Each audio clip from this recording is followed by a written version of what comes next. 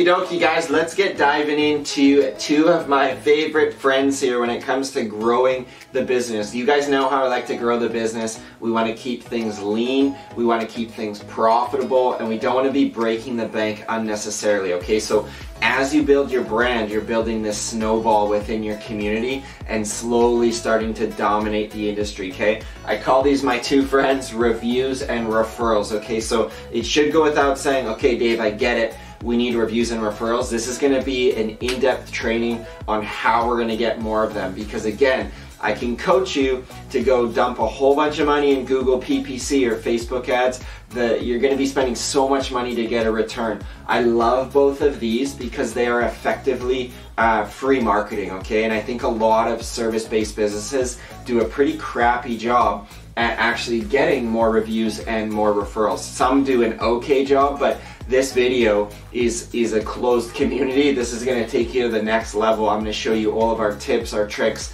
what we do with my cleaning business. So take a bunch of notes. Uh, it's not to be too long of a training, but I do want to capture a few key points that I, I want to make sure that you don't miss out on, okay? So Let's start over here with reviews, okay? So there's really a three-step process to how you can go out and get reviews, okay? So I don't, I've got tons of training on the importance of reviews. You know, we've done coaching calls around this. We'll have more to come. This is gonna be about actually a how-to guide. How do you do it, okay? So the first thing you wanna do getting reviews is you wanna be priming the client, okay? So as you start to snowball this thing, customers are going to be predisposed to the fact that they've already read your reviews, they already kind of know you've got a good rating, that's probably why they called you in the first place. So let's assume that assumption already, that they've already done a little bit of homework on you, that's why you're there doing the service, okay? So this needs to get drilled into your lead technician, to your crew,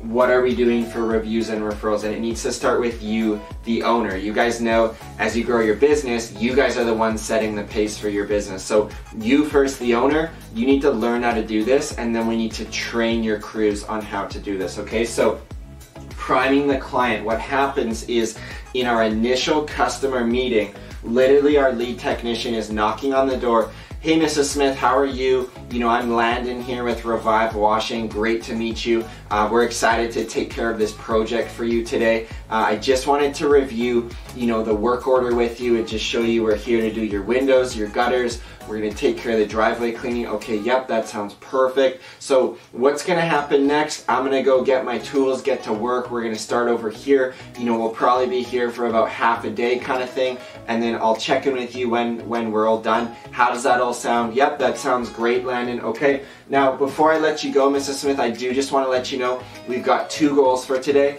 Number one, we wanna do such a great job washing your home, cleaning your gutters that you're just so happy with the experience we provide you.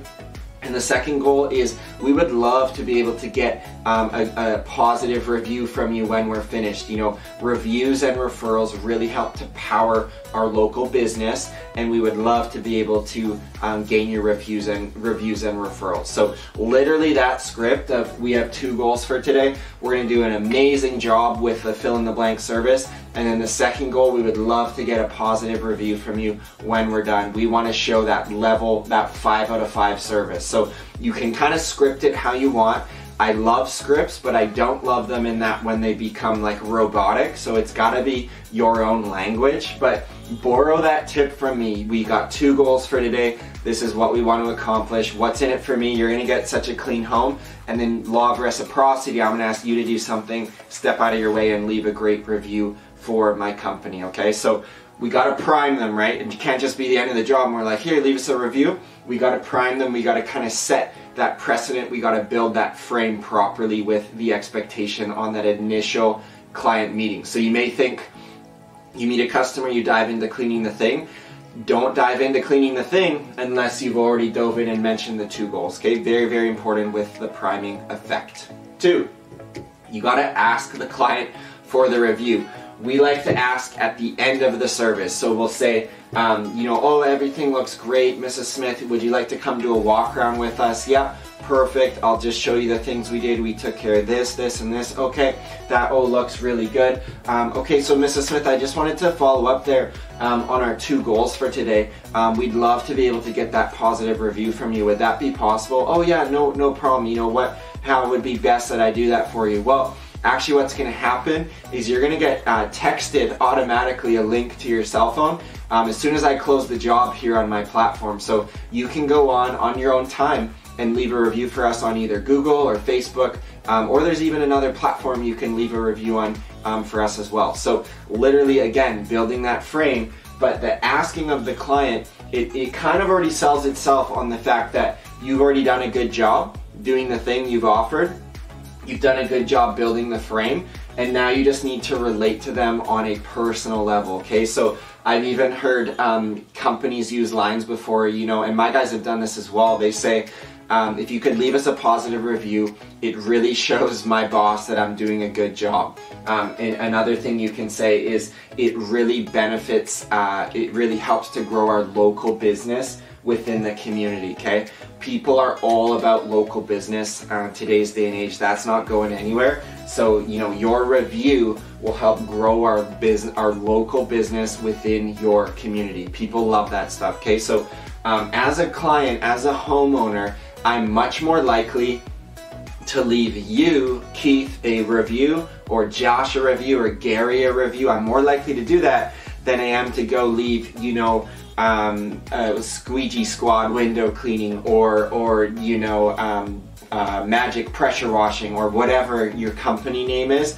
I'm much more likely to leave a review for the technician or the business owner personally than I am for the company. So always make it personal, right? It shows my boss I'm doing a great job. Um, it helps to grow my business locally in the community, however you gotta do it.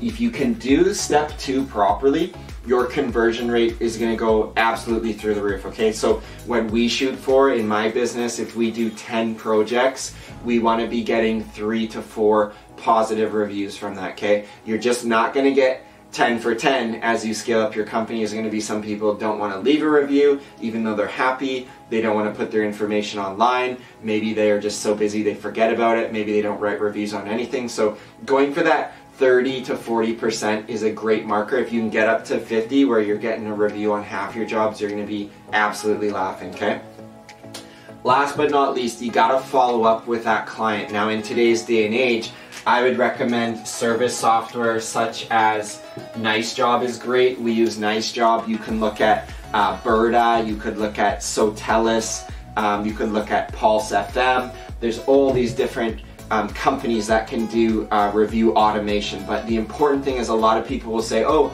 just use Nice Job, right? You'll get all these reviews. It doesn't actually work as effective as it as it should unless you're doing step one and step two okay you still need to relate to that client personally show them you care because if you just go do a cleaning job clients like decently happy right maybe like an 8 out of 10 like it was good but they forgot this you never mention the review. If i get a, a text to my mobile that's like please review Revive Washing, I'll be like, oh, forget that, what's the point? But if I actually met the lead technician, Josh, he was friendly, he forgot something, but I pointed it out, he took care of it, he mentioned that reviews really help to grow the business locally and show his boss that he's doing a great job. What do you think I'm gonna do with that tech, that message? I'm gonna see it, be like, man, I'm gonna hook up my boy Josh with a five star, right? Boom, boom, boom. So I'd only do that if this got built out properly. So I would say if you don't prime and you don't ask personally, I would say your review conversion becomes like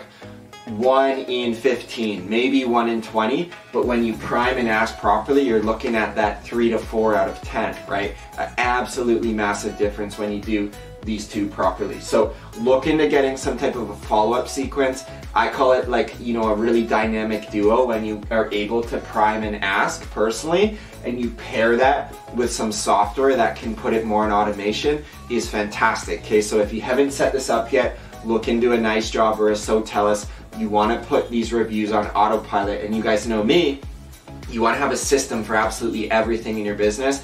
You should not just be getting reviews willy-nilly by texting clients links and this and that. Things get forgotten and broken. We gotta build this company as if you've got three, four, five, six, seven crews on the road. Everyone's doing the same thing in a similar fashion, providing great service, asking for reviews, and setting it up on some type of follow-up. Because again, people get busy, right? They might get that text message and forget about it, but then they'll get prompted with another email or two. So you can build out all those sequences on a Sotellus or a Nice Job and get it perfectly calibrated um, to your business, okay? The last thing with reviews I'll touch on, you've got to celebrate this within your culture, okay? Every Monday meeting is a team meeting with my company. We start with talking about reviews we got and then we segue into safety and what's coming up for the week. But we start with celebrating reviews. We, we verbally read them out on a Zoom call if we're on Zoom or in person, we'll read them out in person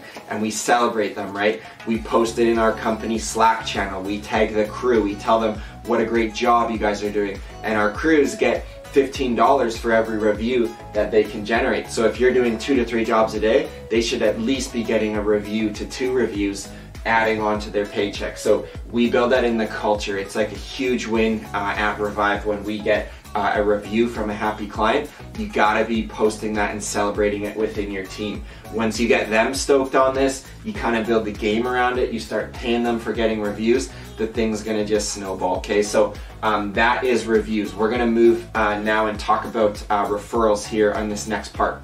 All right, so step two, let's get in and dive in and talk about referrals, okay? Every bit as important as reviews. You can almost look at them as a little bit of one and the same in that um, um, reviews are just effectively online referrals that customers have posted, right? I looked at our Google report this last month. We had over 10,000 people see our Google reviews the last month uh, on our GMB, on our Google My Business page. So absolutely dynamite when you get these two um, working in tandem, okay? So I want to segue through and talk about referrals in your service-based business, okay? So it's important to structure the verbiage properly because if you came in today and cleaned my home, you're gonna say, oh, who could you refer me to? And I'm like put on the spot, I'm just like, ah, I'm not sure, maybe call this friend, right? You don't wanna be putting people on the spot, but you do again, back to here, you wanna prime them to be thinking about it, how they could help benefit your business, okay? And sometimes we think, oh my goodness, we gotta pay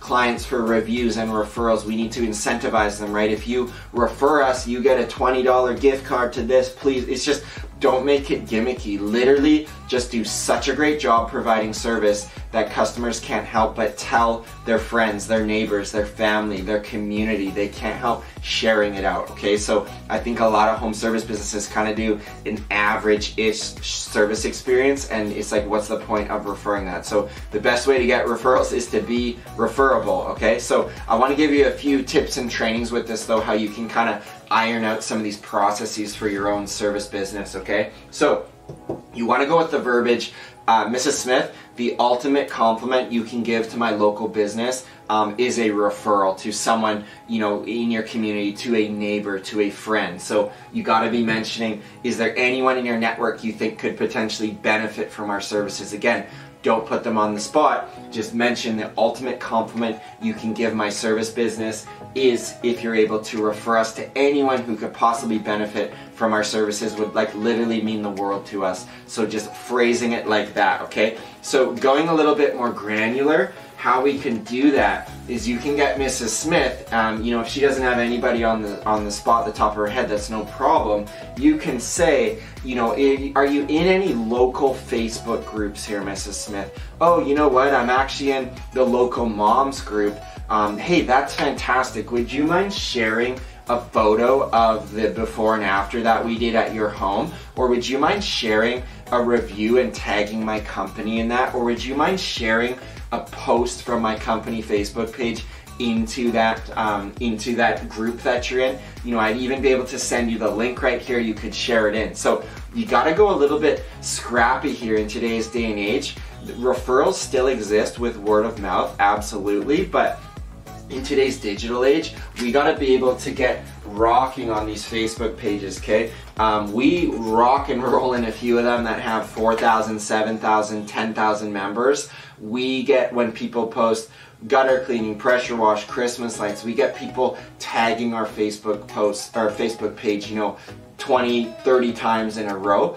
That is so much social proof when you're gonna be able to do that. How we got to that point was doing a great job in the community and asking our clients, hey, do you mind sharing out you know, our Facebook page or posting a photo. You don't have to post your address, but you could post the side of the house. You know, you could send Mrs. Smith pictures of her gutters before and after and say, would you mind posting this picture on the group? So a lot of you have maybe like thought before, oh, that'd kind of be nice to do, but I'm actually physically coaching you, telling you, go do this now, go do this today because this stuff works. It all comes down to building your brand, okay? And again, I think a lot of service-based businesses, including your very own competition, is not doing this properly. So this review and referral hack this little training you're getting, um, plus coaching from me, if we can put these into place properly in your service business, you're gonna just be leagues ahead of your competitors, literally just trying to catch up, okay? Um, another thing you can do is leave two to three business cards with your client when you're done, okay? So we always joke in my company that the client exit meeting is just like this fury of activity, right? We're getting lead technicians to pack up the stuff, do a walk around, uh, collect payment, ask for a review, uh, mention referrals, right? Go do the five rounds. Like there's just all these things, and that's why the training of your team is just so vitally important, right? Doing a good job cleaning, yes, but we need people who are good at talking to customers, asking for reviews, asking for referrals, you know, even leaving, you know, Mrs. Smith, is it okay if I leave you two to three business cards here? Um, you could pass those out to any friends or neighbors who could potentially benefit from our services. I've never had a happy customer say no to that, by the way. It's just like, oh, for sure, leave me the business card. That works great for customers, you know, 55, 65, 70 years old. For the younger generation, you get the mom with the two kids who's 40, um, you know, in a double income family, I guarantee you she's more kind of your Instagram, Facebook group, mommy blogger. That's exactly who you want to be posting in local Facebook groups. Okay, so read your client a little bit based on are they a little bit online savvy? I'd say anyone kind of 40 years old and below is like a no-brainer. Push for that. If they're a little bit older, um, then I'd push for the business card um, route, right? It's just you got to um, speak the language of your customer. And if you go to a 70 year old granny and say, hey, go on your local fit, like you might be surprised, but generally, like 19 out of 20 times, those people aren't going to be on Facebook. But at the time of this video, who knows if you watch this in a year from now it might all change right the internet's changing so quick but for now i'd say kind of read your audience and pick you know either one or two uh, for kind of next steps on the referrals okay so spelling it all out for you these two are vitally important. My service business, we've never spent more than 7% of our uh, total revenue in our marketing department because we do this so well. Reviews and referrals, I would argue, help contribute to putting three, four, five hundred thousand dollars on our top line because we have these processes dialed in. We're able to save a lot of money where we only need to turn on Google PPC and Facebook ads for our busy season and then we can turn it off because we're so good at generating reviews and referrals. Okay, so if you're setting up to do a $500,000 business this year, marketing, to be honest with you, should be in kind of that 25 to 35 grand range anywhere in there because we're going to be dialing these in so uh, perfectly. It's going to keep your net profit margin just even better than where it needs to be. Uh, you know otherwise if you don't do these things you're going to be overspending in a lot of marketing areas. I've got friends who have marketing budgets that they spend 15, 20, 22% of their top line in marketing because they, they don't know how to do this and so they just go and keep giving Facebook more money, okay? I'd rather save those 12, 15 points, put it on my bottom line because I'm gonna dial in these two systems, okay? So very important. It takes practice. I would literally head to a mirror right now, maybe in your washroom, go stand in front and start asking, start talking it out. Literally practice for the next half hour. Mrs. Smith, we have two goals for today. Boom, boom, boom, boom, boom, boom. Do you have anyone who could benefit from our services? It's really the ultimate compliment to me as a business owner when we get our business referred in the community, okay? So can't stress this stuff enough. Give yourself some practice with it and reach out to me if you've got any more questions about this. But I wanted to keep this training fairly short and on point, talking about reviews, talking about referrals, absolutely vitally important in your marketing tool belt as you keep scaling up this business. Thanks for watching. We'll see you on the next video. Bye.